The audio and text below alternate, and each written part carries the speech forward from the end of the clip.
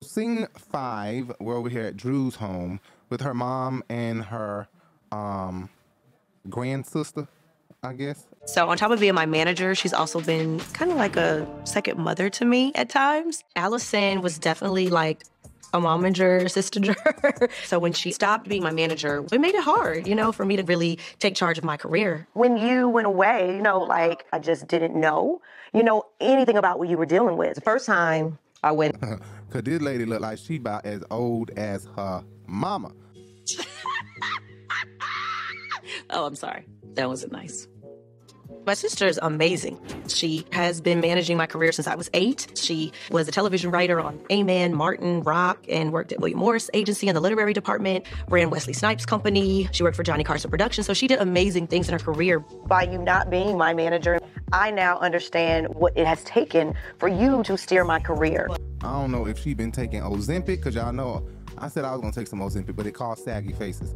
But I don't know what's going on with her. She looks really old. Uh, and I don't know, maybe her mom, you know, had a child later in life because, you know, women do do that. So maybe that's what it was. I don't know. But her sister definitely rocking on the, on the agey side. Um, but Allison looks like her mom um, to me. But I was thinking, you know, what if there's some family secrets? What if Allison gave up Drew because Allison had Drew too young or couldn't wasn't ready for a baby and was like, "Here you go, mom," and gave Drew up to Alice. See, see, I write scripts, y'all. I love writing scripts. I got a lot of scripts that I be writing. I like to write scripts. I like to write stories, and so I have a vivid mind. Like I be thinking a lot about some crazy shit. And so I was just thinking, like, what if Allison done been given up? I mean, what if Drew was given up by Allison to uh, Pastor Jeanette? And um and what if Pastor Jeanette is Drew's grandmammy? What if that is the case? This I mean it's possible. It's possible. Drew, have you ever seen that birth certificate? Have you ever seen a birth certificate? Uh anyway, um Drew the type that'll take anything, no honey. You tell her something, she believe it. Oh, okay. Um, until somebody bring it to her attention and she feels betrayed when you should have had a more insightful eye. Stop being so optimistic. Open up your eyes. Where was your antennas when them niggas was stealing my shit out the stove? I didn't see him take anything. You didn't see him take anything. Well, look next time. Use your eyes. They ain't supposed to just be hazed. They supposed to do some goddamn work around here. This ain't for play. I don't do this for fun. I'm sorry. Don't be sorry. Oh, be careful. Oh. Pay attention and see. Leos are optimistic. Tauruses are very optimistic. They're more optimistic than a Leo is. Um. Anyway, Drew said her sister is like her sister, her manager and that's what I'm saying, okay? Family secrets. Family secrets. Okay, y'all, that's what I'm talking about. Family secrets. Um, so I was very taken back by taken back by Drew's um, explanation of you know her and Allison split up about um, Allison going through COVID, having a hard time, having a t- total mental breakdown. First time I went into the psychiatric hospital, all this stuff started coming up. I don't even know if you know all this. The guy I dated at 22 and he beat the crap out of me, that started having me have bad dreams and anxiety and PTSD and like. Allison stopped managing me at the beginning of COVID, right when she had her mental health break. Just more times I want to go back into the hospital. It's like you guys are just moving on with your life and I'm not there. Allison, you can't think about that.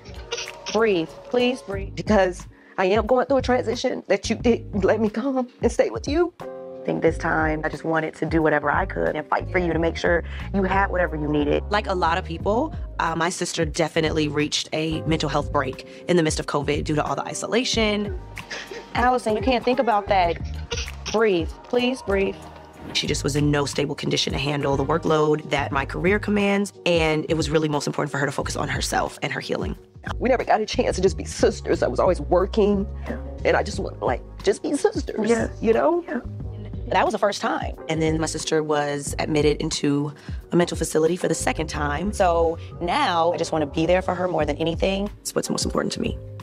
Um, I really, it made me think a lot like, wow, that's sad.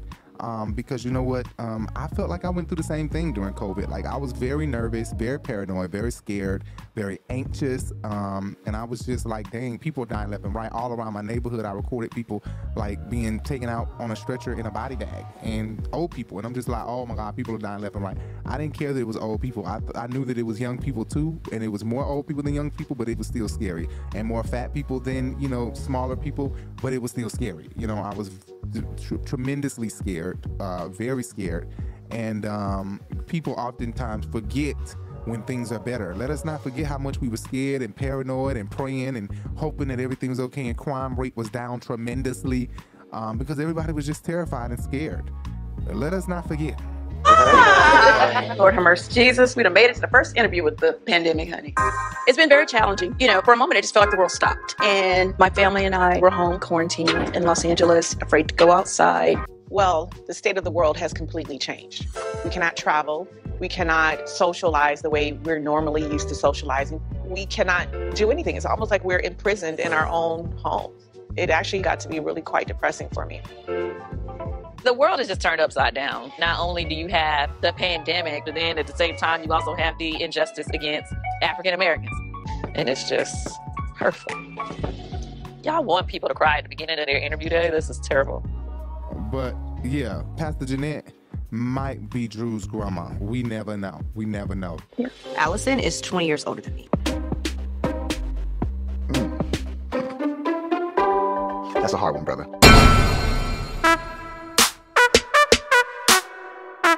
Thanks for watching.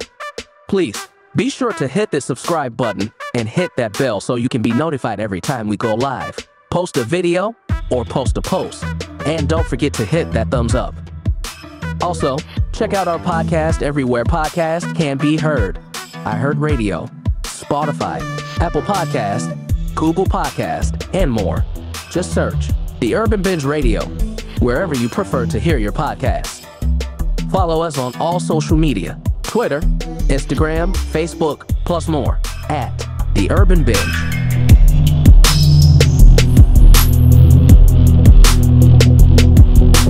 Oh, yeah, and don't forget to subscribe to both our channels at RiBelTV and at RiBelTV 2 for more exciting reviews, fun blogs, short films, and more.